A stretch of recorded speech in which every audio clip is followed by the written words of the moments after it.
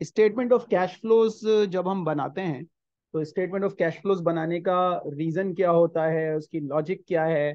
क्योंकि हमारे पास एक statement of profit and loss होता है, जिसमें हम किसी भी बिज़नेस की परफॉर्मेंस को डिस्कस करते हैं। एक बैलेंस शीट होती है फाइनेंशियल पोजीशन जिसमें एसेट्स लाइबिलिटीज और कैपिटल को डिस्कस किया जाता है। लेकिन अगर एक यूज़र ऑफ़ फाइनेंशियल स्टेटमेंट या आइडेंटिफाई करना चाहता है कि कंपनी की लिक्विडिटी कैसी है उसके कैश फ्लोज की ओवरऑल पोजीशन कैसी है तो उस यूज़र ऑफ़ फाइनेंशियल स्टेटमेंट को हमें कैश फ्लो स्टेटमेंट देना पड़ेगा ताकि वो बिज़नेस की ओवरऑल लिक्विडिटी पोजीशन के बारे में आइडेंटिफाई कर सके। आई एस सेवन डील करता है how to prepare cash flow statement and what to shows in that cash flow statement so under I S seven, हम कैश फ्लो स्टेटमेंट जब भी बनाएँगे तो उसके दो मेथड्स हैं हमारे पास। One is called the indirect method जो कि एग्ज़ाम में यूज़ होता है सबसे ज़्यादा। और बहुत रेयर केसेस में हम कैश फ्लोज का डायरेक्ट मेथड भी इस्तेमाल करते हैं, लेकिन प्रैक्टिकली भी इनडायरेक्ट मेथड सबसे ज़्यादा यूज़ होता है और एग्ज़ाम में भी इनडायरेक्ट मेथड ही यूज़ किया जाता है। अच्छा जो भी स्टेटमेंट ऑफ़ कैश फ्लोज बनाया जाएगा, चाहे वो इनडायरेक्ट मेथड से बनाया जाए या डायरेक्ट मेथड से बनाया जाए, उसका आंसर एक ही आएगा। आंसर में कोई डिफरेंस नहीं आएगा। सिर्फ़ फॉर्मेट का फ़र्क होगा प्रेजेंटेशन का फ़र्क होगा। और जो भी बनाया जाएगा, उसके अंदर तीन एक्टिविटीज़ को हम कवर करेंगे। Cash flows from operating activities company के ऑपरेशन से कैश फ्लोज की position cash flows from investing activities and the last one is cash flows from financing activities यानी कि एक कैश फ्लो स्टेटमेंट के अंदर हम यूज़र को ये बताएँगे कि कंपनी ने अपनी ऑपरेटिंग एक्टिविटीज़ में कितना कैश इनफ्लो और आउटफ्लो क्रिएट किया, इन्वेस्टमेंट से कितना आउटफ्लो और इनफ्लो आया, और फाइनेंसिंग एक्टिविटी से कितना आउटफ्लो और इनफ्लो आया, चाहे वो डायरेक्ट मेथड हो या इनडायरेक्ट मेथड हो। तो यहाँ पर भी सेम ऑपरेटिंग एक्टिविटी होती है, यहाँ पर भी सेम इन्वेस्टिंग एक्टिविटी होती है, और यहाँ पर सेम फाइनेंसिंग एक्टिविटी। तो एक क्वेश्चन स्टूडेंट के माइंड में आता है then why there is a difference between these two methods अगर एक्टिविटी सेम है तो। तो एज आई टोल्ड यू के फॉर्मेट का फ़र्क होता है। लेकिन फॉर्मेट में भी सिर्फ़ जो डिफरेंस क्रिएट होगा, वो डिफरेंस ऑपरेटिंग एक्टिविटी में क्रिएट होगा। यहाँ पर डिफरेंस होगा। As far as investing activity and financing activities are concern ये बिल्कुल सेम फॉर्मेट होगा आइडेंटिकल फॉर्मेट होगा। इसमें कोई डिफरेंस नहीं। So the only difference between direct method and indirect method is the difference between how to prepare operating activity. अब हम बात करेंगे इनडायरेक्ट मेथड से कैश फ्लो स्टेटमेंट कैसे बनाया जाता है। तो जब हम इनडायरेक्ट मेथड से कैश फ्लो स्टेटमेंट बनाते हैं तो will start from profit profit की कौन सी फिगर ले सकते हैं? तो इसके लिए कोई हार्ड एंड फास्ट रूल नहीं है। प्रॉफिट बिफोर टैक्स भी ले सकते हैं profit before interest in tax यानी कि ऑपरेटिंग प्रॉफिट भी ले सकते हैं। कोई भी प्रॉफिट लिया जा सकता है but we normally start from profit before tax अब इस, ये पहली आपकी एक्टिविटी है operating activity cash flow from operating activity तो cash flow from operating activity का हमने स्टार्ट लिया प्रॉफिट बिफोर टैक्स से.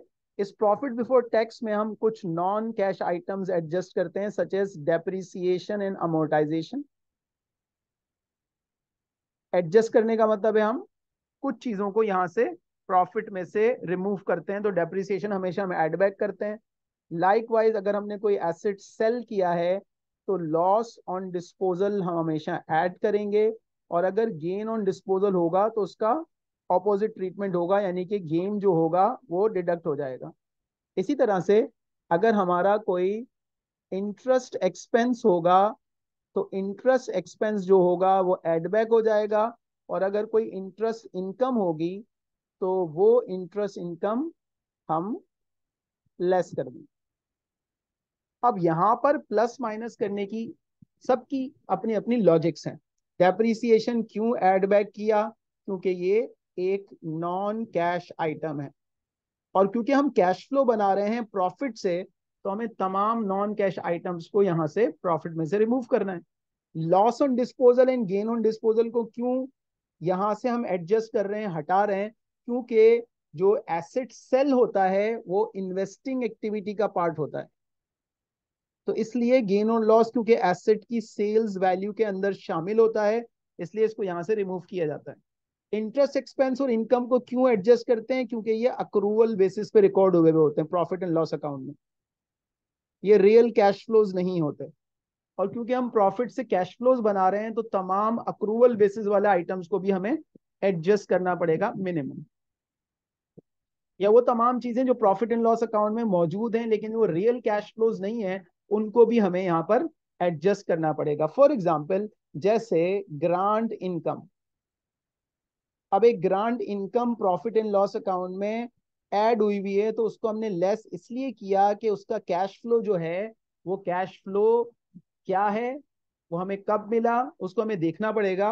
और जो ग्रांट रिसीव होगी, वो हमारी इन्वेस्टिंग एक्टिविटी आइटम है ऑपरेटिंग एक्टिविटी आइटम नहीं है। ये चीज़ें एडजस्ट करने के बाद फिर हम इन्वेंट्री की पोजीशन देखते हैं रिसीवेबल्स की पोजीशन देखते हैं और ट्रेड पेबल्स की पोजीशन देखते हैं। और ये डेटा हमें एसओ से मिलता है कि हमारी इन्वेंट्री में कितना चेंज आया। इन्वेंट्री हमारी इंक्रीज हुई डिक्रीज हुई, हमारे रिसीवेबल्स में इंक्रीज डिक्रीज आया या हमारे पेबल्स में। देखें इन्वेंट्री में जब भी इंक्रीज या डिक्रीज आएगा it affects your cash flows receivables में जब भी इंक्रीज या डिक्रीज आएगा it affects your cash flows so as payable it affects your cash flows तो रूल ये होता है कि अगर इंक्रीज इन अकाउंट रिसीवेबल हो या इंक्रीज इन इन्वेंट्री हो तो हमेशा उसके लिए डिडक्शन का इस्तेमाल करेंगे माइनस कर देंगे लेस कर देंगे। और अगर ऑपोजिट हो डिक्रीज इन अकाउंट रिसीवेबल या डिक्रीज इन इन्वेंट्री और स्टॉक तो फिर हम उसे कैश फ्लो में क्या करेंगे? प्लस करेंगे। सिमिलरली अगर पेबल की बात की जाए तो increase in accounts payable plus होगा और decrease in accounts payable minus हो जाएगा। तो इस लॉजिक से हम यहाँ पर इसकी एडजस्टमेंट करके फाइंड आउट करते हैं कि आपके पास कैश फ्लो कितना आता है। For example let me assume that कि इस साल इंक्रीज इन स्टॉक हुआ। तो इंक्रीज इन स्टॉक का रूल क्या है? इंक्रीज इन स्टॉक को हम डिडक्ट करते हैं। सिमिलरली इस साल इंक्रीज इन अकाउंट रिसीवेबल हुआ, उसको भी हमने डिडक्ट कर दिया। और इस साल हमारा इंक्रीज इन अकाउंट्स पेबल हुआ। अब इंक्रीज इन अकाउंट्स पेबल का रूल क्या है? इसको हम प्लस करते हैं। ये प्लस माइनस करने के बाद हमारे पास जो आंसर आता है तो आपका जो प्रॉफिट था, वो कैश फ्लो में कन्वर्ट हो गया। And this is called cash flow from operation या cash generated from operation cash generated from operation so indirect method में ऑपरेटिंग प्रॉफिट को या प्रॉफिट बिफोर टैक्स को अगर कैश फ्लोज में कन्वर्ट करना हो कैश फ्लो बनाना हो तो उसमें हम ये तमाम चीज़ें प्लस माइनस करके वर्किंग कैपिटल की पोजीशन को एडजस्ट करके cash generated from operation find out कर लेते हैं। उसके बाद हम कुछ यहाँ से एक्चुअल कैश आउटफ्लो माइनस करते हैं। जिसमें पहला आउटफ्लो होगा इंटरेस्ट पेड इस साल हमने जो इंटरेस्ट दिया है एक्चुअल इंटरेस्ट वो माइनस करेंगे। इस साल हमने जो टैक्स की पेमेंट की है एक्चुअल वो माइनस की जाएँगी और इनकी वर्किंग्स भी हमें करनी पड़ेंगी। या इसी तरीके से जो भी एक्चुअल पेमेंट्स हमने की हैं, ये माइनस करने के बाद हमारे पास एक आंसर आ जाएगा जो कि पॉजिटिव भी हो सकता है और नेगेटिव भी हो सकता है। अगर वो पॉजिटिव आएगा तो हम लिखेंगे cash inflow from operating activity और अगर नेगेटिव होगा तो हम लिख देंगे cash outflow from operating activity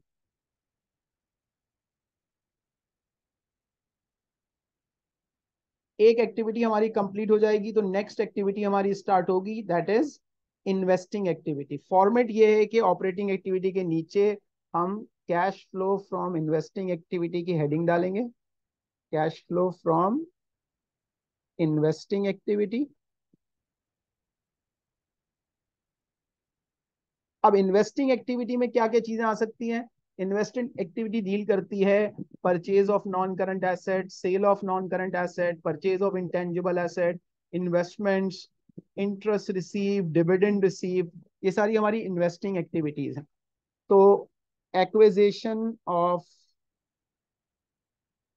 property plant and equipment अगर हमने कोई प्रॉपर्टी प्लान एंड इक्विपमेंट खरीदा और उसकी कैश पेमेंट की तो हम उसको आउटफ्लो दिखाएँगे। इसी तरह से हमने कोई प्रॉपर्टी प्लान एंड इक्विपमेंट इस साल सेल किया disposal of property plant and equipment तो ये हमारे लिए इनफ्लो होगा।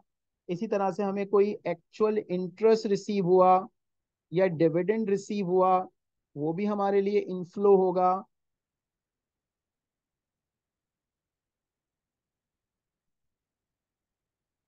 उसे भी हमने, यानी कि हर आउटफ्लो को हम माइनस कर रहे हैं और हर इनफ्लो को हम ऐड कर रहे हैं यहाँ पर। और उसके बाद फॉर एग्जांपल गवर्नमेंट ग्रांट अगर हमें इस साल कोई नई रिसीव हुई है तो वो हमने यहाँ पर ऐड कर दी। अच्छा सबकी हमारे पास वर्किंग होगी। ग्रांट रिसीव्ड हमें कैलकुलेट करनी होगी। एक्विजिशन ऑफ़ एसेट हमें कैलकुलेट करना होगा। इंटरेस्ट पेड कैलकुलेट करना होता है। टैक्स पेड कैलकुलेट करना होगा। अकॉर्डिंगली सो ये प्लस माइनस करने के बाद हमारे पास एक आंसर आया। अगर ये आंसर माइनस में है तो हम लिखेंगे cash outflow from investing activity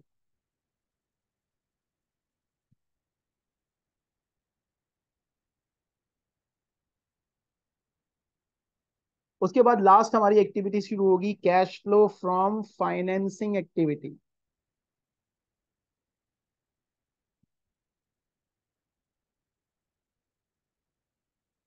financing activity में कंपनी ये शो करना चाहती है कि उसने जो एक्सटर्नल फाइनेंसिंग रेस की है, उसका सोर्स क्या है? इस साल उसने कितने शेयर्स इशू किए? इस साल उसने कितना लोन लिया? कितने लोन वापस कर दिए? कितने शेयर्स पे कर दिए? डिविडेंड कितना पे किया? तो अगर इस साल कंपनी को शेयर्स इशू करती है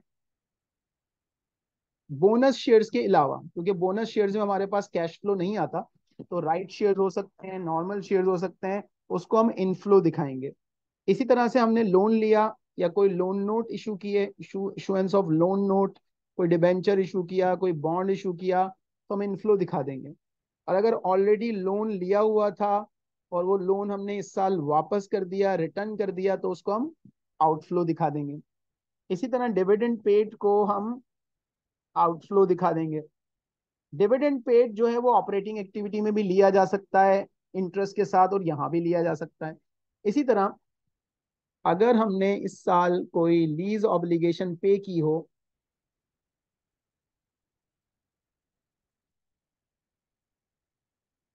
जो हम रेंटल्स लीज के पे करते हैं, उसमें एक पोर्शन लीज ऑब्लिगेशन के अगेंस्ट पेमेंट होती है, वो भी यहाँ से हम डिटेक्ट कर देंगे। तो ये हमारी फाइनेंसिंग एक्टिविटी का फाइनली आंसर आ जाएगा। अगर ये पॉजिटिव आंसर आया तो हम लिखेंगे cash inflow from financing activity और अगर नेगेटिव आया तो outflow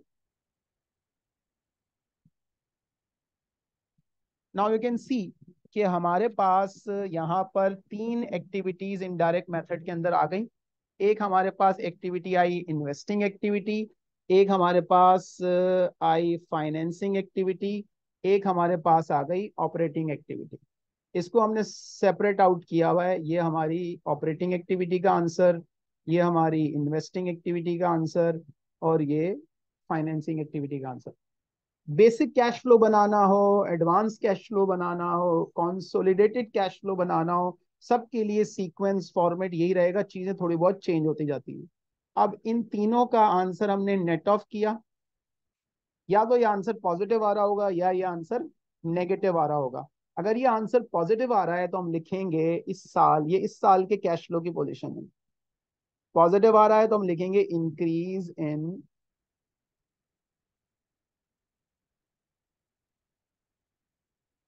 cash and cash equivalent इस साल की ये पोजीशन यूज़र को पता लगेगी अब ऑब्वियस सी बात है कि साल के बिगनिंग में भी हमारे पास कैश फ्लो पड़ा हुआ होगा पॉजिटिव या नेगेटिव या तो कैश फ्लो होगा या ओवरड्राफ्ट होगा उसको हम इस साल की पोजीशन में प्लस या माइनस कर देंगे।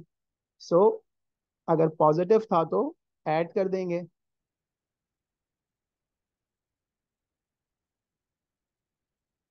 एट स्टार्ट और अगर नेगेटिव बैलेंस था तो माइनस कर देंगे।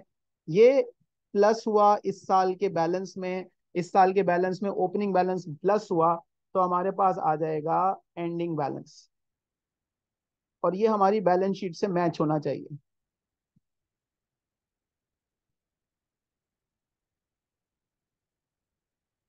Cash and cash equivalent at end.